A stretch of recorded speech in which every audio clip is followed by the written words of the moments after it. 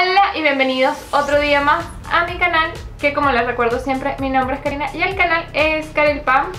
Si les gustan los videos recuerden que pueden suscribirse en el botoncito rojo que aparece por aquí abajo. Ahora bien, vamos a decirles de qué va este video. El video de hoy va a ser sobre un maquillaje con una nueva paleta que llegó que ya la van a ver en funcionamiento. Y bueno, seguramente vaya a subir primero el haul, pero voy a grabar primero el tutorial y después el haul para tener maquillaje en el tutorial, en el, perdón, para tener maquillaje en el haul, entonces es eso. Pero bueno, les voy a dar un sneak peek y si son del mundo de la belleza en habla inglesa, sabrán quién es y es The Queen. Yay, ¿ok? Así que vamos a usar esa paleta por primera vez en este maquillaje y después yo les voy a dar la reseña ya que ella es como que la reina de las reseñas y es muy crítica con los productos que usa, entonces vamos a ver qué tal es su paleta, ¿ok? Eh, y vamos a empezar con el tutorial que pretendo hacer un tutorial sumamente en tonos neutros, en tonos para ir a la oficina el día a día porque la paleta es así, así que vamos a empezar con el video.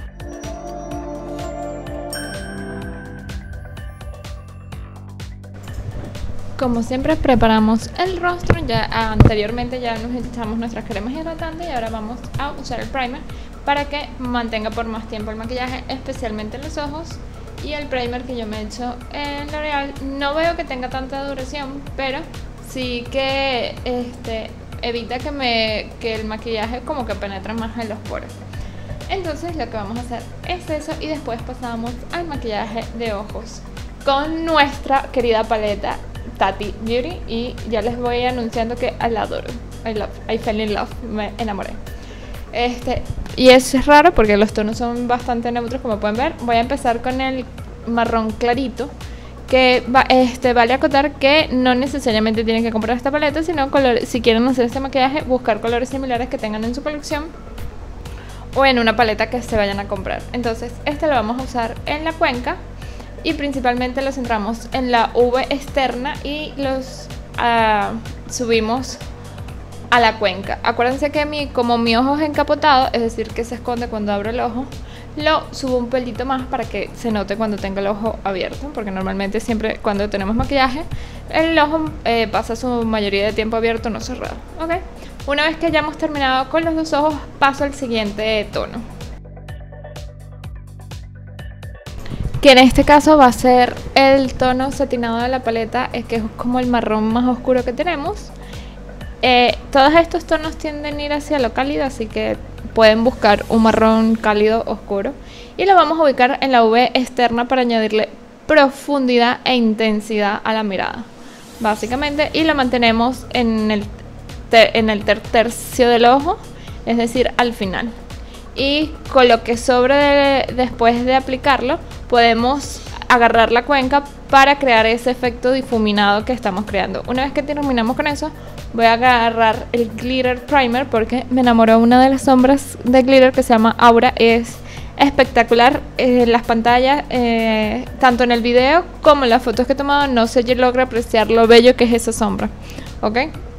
Que en realidad es glitter purpurina escarcha, como le llaman en su país y eso es lo que tengo ahí puesto. Entonces primero usamos el primer y después pasamos a aplicar. Yo uso, paso, hago primero un ojo y después el otro para que no se me seque el primer entre aplicación de glitter, que es, esa es la aura y es bellísima.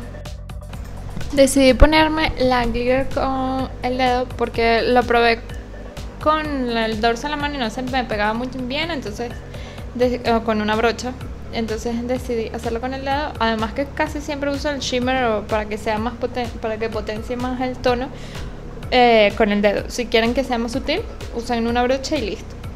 Y aquí, yo sé que al principio del video digo que voy a hacer un maquillaje sutil, pero como les dije, esta sombra me enamoró y no pude dejarla de lado.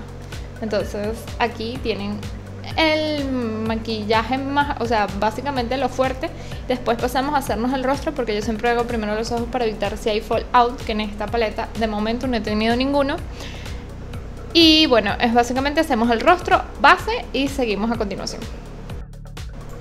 Bueno, antes de empezar con la base, lo que hago, estoy haciendo es agarrar el tono más oscuro marrón y integrarlo con el otro, ¿sabes? Difuminando la, la glitter para que todo tenga como una secuencia.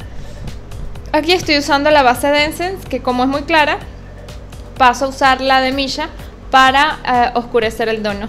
El problema es no que se me oscurezca demasiado porque Milla es mi tono exacto, entonces no tiene esa oscuridad, habría que usar un tono más oscuro, por lo cual después les enseño cómo oscurecerlo con el bronceador. Una vez que terminamos esta parte de aplicar la base con la esponja, yo uso la esponja porque así me permite controlar más la aplicación de producto, en cambio la brocha es como un acabado más este al de alta cobertura porque es la de la brocha. Ahora paso con el, corrector que para ayudar a oscurecer agarré uno de los tonos más oscuros que tengo para que no se me vea tan blanca el rostro. Una vez que termino de aplicar con, la esponja, paso a sellar el rostro. ¿Por qué sello? Porque mi piel es grasa. Si tu piel es seca, puedes saltarte este paso. Pero yo sello normalmente todo porque es muy grasa mi piel. Ahora voy a agarrar un tono de contorno, que normalmente la diferencia entre contorno y bronceador es que los contornos son tonos cenizas, van hacia los grises, y el corrector y el bronzer va hacia los naranjas, pero uno y además la aplicación es prácticamente similar, uno va más abajo y arriba. Aquí estoy usando este tono como bronceador a pesar de ser ceniza, pero porque mi piel ya estaba bastante clara, entonces lo que hago es un contraste para eso. Ahora voy a usar ese rubor, que es un rubor mm, rosado clarito, yendo hacia los azules y le aplico este, de movimientos circulares hacia arriba, apliqué un poco en la nariz para verme más como que con rubor y estoy usando esos tonos, dos tonos de la paleta Slick para iluminar el rostro, que es el, como el beige y el amarillo. Y ven qué potencia da de color a las mejillas. Igual lo aplico en las zonas altas, que son arriba de las mejillas, la punta de la nariz, el arco de cupido. Y después paso el exceso que sobre eh, por encima de las cejas solamente para añadir un extra de brillo en esa zona. Ah, y el, una de las bueno, aquí retoqué y eché. Mm, ok, quería iluminador de por vida, pero bueno, normalmente lo hago de la otra manera. Ok, sí, quería el iluminador para iluminar el un estadio de fútbol, porque ven que estoy retocando y ya se me veía bien. Sí. Ahora voy a pasar al tono este como violeta para aplicarlo en el ojo solamente porque quería como que darle otro toque, pero podrían usar el mismo tono oscuro, los dos tonos marrones que usamos, el oscuro y el claro, para integrar el maquillaje y añadir la profundidad. Corina creo que pasó por la, la luz en este momento y eso. Entonces eso lo hacemos en el párpado inferior para añadir profundidad. Una vez que terminemos aquí voy a agarrar el tono que habíamos usado para difuminar, pero agarro el satinado que tiene un poquito de brillo y lo difumino por todo el, el color que usamos como especie de vino morado solamente para oscurecer un pelín que, que no quede así como todo enfermo porque los tonos rojos, rosados, morados suelen ser así como te ves un poco enfermo, entonces no era la idea. Y retocamos, eso es todo. Ahora voy a añadir el punto de luminosidad para ampliar la mirada en la eh, V interna del ojo y además uso ese mismo tono brillante para eh, iluminar el arco de la ceja. Seguimos con las cejas y en este caso las voy a poner bastante potente porque tengo un maquillaje con glitter. Entonces, eh, si los hago muy suaves, creo que le restaría importancia a las cejas. Y bueno, las cejas son el marco del rostro, especialmente de los ojos, así que es importante en este paso. Entonces, como ven, primero las relleno bastante potente y después con el gupillón la voy a ir difuminando e integrando. Eh, yo no suelo perfilar ni crear pelitos porque no creo que es necesario, solamente lleno las zonas calvas y acomodo el arco de la ceja. Si veo que eso, eh, voy borrando con el dedo y eh, eso es lo que hago. Ahora voy a la máscara de pestañas, que siempre es importante y más si llamamos glitter. Creo que es importante potenciar las pestañas. Inclusive yo me atrevería a, decir que debería siempre llevar este, pestañas postizas, ya sean sutiles, más potentes, etc. Aquí quise mantener una de las más sutiles que tengo porque quería que se destacara este, la glitter y no que una muy potente me eh, tapara como que la escarcha. Entonces eso es lo que estamos haciendo. Pero si tienen una buena máscara de pestañas, unas buenas cejas, unas buenas pestañas que yo no las tengo, yo creo que con la máscara les vendría bien. Aquí estoy agarrando un delineador marrón para oscurecer la zona y que no esté en tan contacto con el rosado y así no, que no parecer enfermo. Aquí estoy aplicando la máscara de pestañas, la, la pestaña postiza, como están viendo, y listo. En cuanto a los ojos, este, ahora ahí estoy terminando de acomodar la pestaña, después vamos a pasar a los labios y los labios los quise mantener en un tono nude tirando a malva. Eh, que este, por si lo quieren saber, es el Lumière de color pop, el Lumière 2 de color pop. Y es así como un morado, pero bajado de tono, no tan fuerte. Y así para que el maquillaje como que eh, estuviera contando una historia entre potencia de color, una mirada profunda y un labial más sencillo. Y este es el resultado como ven, así que espero que les guste. Si les gustó no olviden suscribirse y dejarme su me gusta, que me ayudaría muchísimo. Así que les dejo más eh, video de cómo queda el look eh, para que lo vean en todos los ángulos, ¿ok?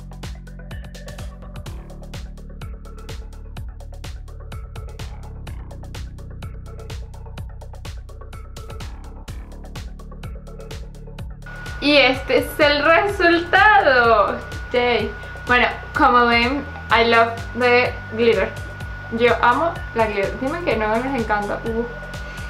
Pues, yo puedo salir por la vida así, botar la basura, ir al súper de fiesta, pero quería decir las cosas banales, triviales de que hay que hacer, porque este es precioso.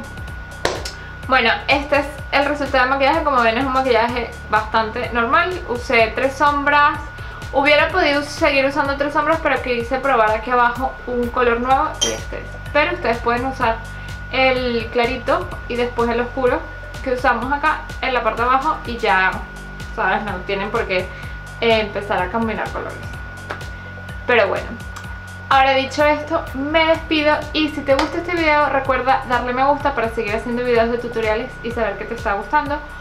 Suscribirte que mm, hay un botoncito por aquí abajo y compartirlo con tus amigos y amigos para que ellos también tengan la opción de recrear este maquillaje. Así que eso es todo y nos vemos en el próximo video. Bye. Les recuerdo que también te dejo por aquí mi cara para que te suscribas sin flotante el último video del canal y otra opción por si este no te apetece ver, capaz te guste más este, así que hasta la próxima.